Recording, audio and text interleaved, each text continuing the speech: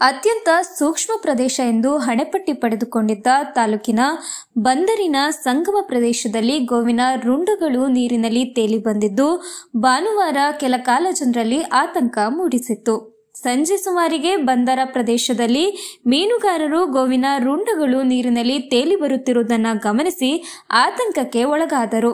ನಂತರ ಅನೇಕ ಚೀಲಗಳಲ್ಲಿ ತೇಲಿ ಬರುತ್ತಿರುವುದನ್ನು ನೋಡಿದ್ದ ತಕ್ಷಣ ಕೆಲವರು ರುಂಡವನ್ನು ಹಗ್ಗದಿಂದ ಕಟ್ಟಿ ಹಾಕಿ ಪೊಲೀಸರಿಗೆ ಮಾಹಿತಿಯನ್ನ ನೀಡಿದ್ದಾರೆ. ಗ್ರಾಮೀಣ ಠಾಣೆಯ ಪೊಲೀಸರು ತಕ್ಷಣ ಸ್ಥಳಕ್ಕೆ ಧಾವಿಸಿ ಗೋವಿನ ರುಂಡವನ್ನ ವಶಕ್ಕೆ ಪಡೆದುಕೊಂಡಿದ್ದಾರೆ ಎನ್ನಲಾಗಿದೆ. ಇನ್ನು ಕೆಲವು ರುಂಡಗಳು ಸಮುದ್ರಕ್ಕೆ ಸೇರಿದ್ದು ಒಂದು ಮಾತ್ರ ದೊರೆತಿದೆ ಎನ್ನಲಾಗಿದೆ. ರಾಜ್ಯದಲ್ಲಿ ಗೋಹತ್ಯೆ ನಿಷೇಧವಿದ್ದರೂ ಸಹ ಅಲ್ಲಲ್ಲಿ ಗೋವುಗಳನ್ನು ವಧೆ ಮಾಡಿರುವುದು ಸ್ಪಷ್ಟವಾಗಿದ್ದು, ಬೆಳಗ್ಗೆ ಕಾಂಪೌಂಡ್ ಒಳಗಡೆ ಇಪ್ಪತ್ತು ಕೆಜಿ ಮಾಂಸ ದೊರೆತರೆ ಸಂಜೆ ನೀರಿನಲ್ಲಿ ತೇಲಿ ಬಂದ ಗೋವಿನ ರುಂಡಗಳು ಆತಂಕಕ್ಕೆ ಕಾರಣವಾಗಿದೆ. ಕಾನೂನನ್ನು ಉಲ್ಲಂಘನೆ ಮಾಡುವುದನ್ನ ಪತ್ತೆ ಹಚ್ಚಿ ಕಠಿಣ ಕ್ರಮ ಜರುಗಿಸಬೇಕು ಎನ್ನುವ ಕೂಗು ಕೇಳಿಬಂದಿದೆ